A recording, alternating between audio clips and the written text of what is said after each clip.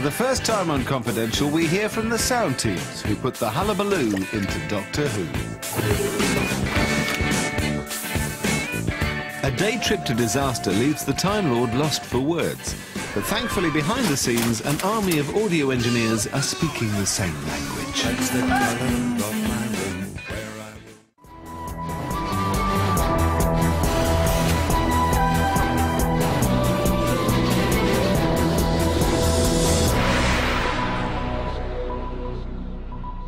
Tell her to stop. She's driving me mad. She's driving me mad. Just make her stop. Just make her stop. It's got to be a Stop trick. staring It's at gotta me. Be a trick. Shut her up. Did you That's play that with impossible. Stop That's talking. impossible. I'm you just stop. stop. Stop. Whatever your name is. Just stop. Six, six, six. Six six six. It's different. You hear me? She's Something something else. else. Don't just stop. They do something. Make her I'm stop. all. Make her. Stop repeating. Usually the challenges are about how are we going to blow up that Cyberman or, or how are we going to hang off that spaceship or, you know. It's quite good to give the sound team some things to worry about, you know, put them to work. Uh, not that they don't work hard enough already. It's more of a sort of psychological horror than you traditionally get in Doctor Who. And from that sense, I think it's quite a grown-up script. I think it's quite, it's scary in quite an adult way. Doctor, you've been loving this. Oh, Jethro, not you. No, but ever since all the troubles started, you've been loving it. I think it absolutely taps into human nature, really. I think it is that we are pack animals, and I think if we're threatened, we do gather together. You do seem to have a certain glee. All right, I'm interested. Yes, I can't help it. It's, it's a horrifying switch to violence in the end. It is literally human nature at its worst, where even the best of people let you down. But what if it's not outside anymore? What if it's inside? At the end, even clever Jethro, I think, who was the only person on board who's a match for the Doctor's intelligence, is bullied by his father. He's simply crying and terrified to do it. Professor Hall. The claustrophobic thing is a mix of both the the set and the dialogue. How much air have we got? I can assure you everything is under control. Mum, just doesn't look like it's me. And the script itself, it's it's built that way. We all feed off of each other's tension, and so the more nervous one person gets, it's infectious.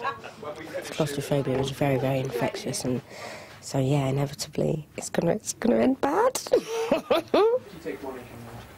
Be camera. And action. And I've spoken to the captain. I can guarantee you everything's fine. What was that? It must be the metal. We're cooling down. It's just settling. Rocks. Could be rocks falling. I've never heard it make a noise like that before. What I want to know is how long do we have to sit here? What is that? Someone out there. There was a fear that as actors we would all locate the sound of the knocking very specifically and very in tune with each other, and that actually we should keep it messier than that.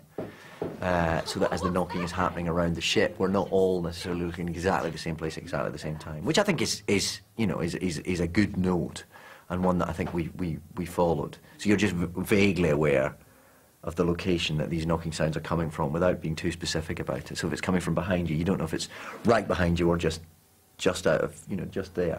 It's trying the door. There is no it. There's nothing out there. Can't be.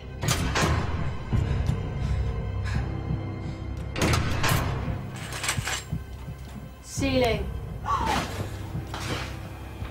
And all those things, I think, add to the, the, the insecurity of the passengers. You know, this machine has broken down in the middle of nowhere. The crew have disappeared, and somebody's knocking to get in. It's quite a high stress situation anyway, uh, and the anxiety is cranked up all the more if you don't quite know where this knocking is coming from. And more to the point, you don't know what it is. I, I think it was around then, wasn't it? So if you, if we do give you, it's coming, it's coming, it's coming, bang! So David says, get out of there, and then I go bang. And what we're going to try and do is do the lighting cue that then gives you the jerk back. Bang. Back on the Crusader 50, the cast are getting ready to really throw themselves into filming. Chuck in a couple of crafty camera moves, and you've got some monster turbulence. Well, obviously, with the set built on the floor as it is, it doesn't move. It'd be lovely if we could suspend it by wires and shake the thing about for real, but obviously we can't. So what we do is we use what's called a Dutch head, which is a, a head on top of a head. And what it does is it not just pans and tilts the camera, or rather pans and uh, tilts the camera, it actually turns it over on its side. And this gives the feeling in concert with the actors, as long as they're doing the same thing as I'm doing, is I'm tilting the opposite way to their running backwards and forwards across the set. So in other words, if I tilt to the right, the actors will all stagger over to the left, and it gives the impression that the whole set is on the move. At least we hope it does. And with the appropriate sound effects and uh, good acting, we hope it all comes out and works very well. Joe, what have you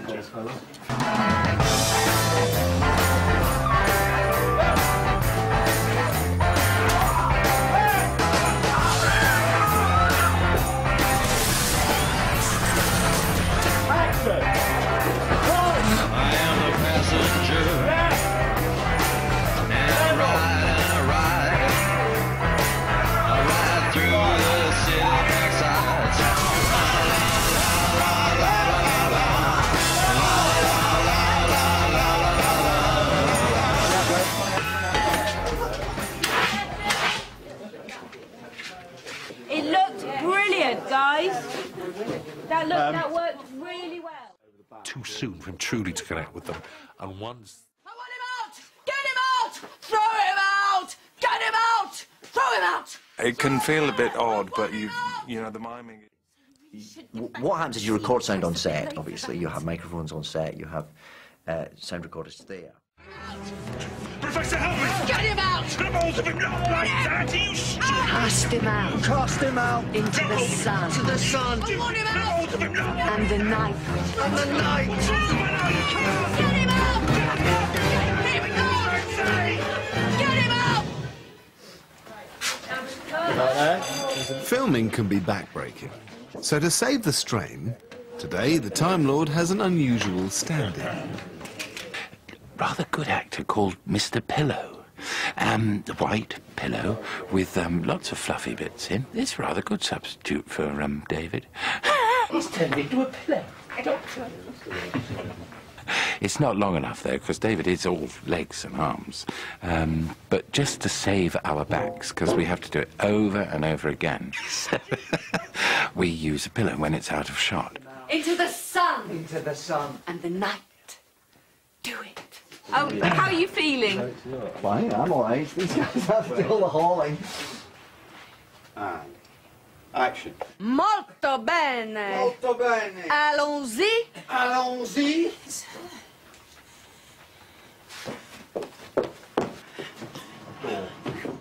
that in order to save all the passengers and humanity, possibly, she has to take Sky, the Lesley Sharp character, out and sacrifice herself in the process.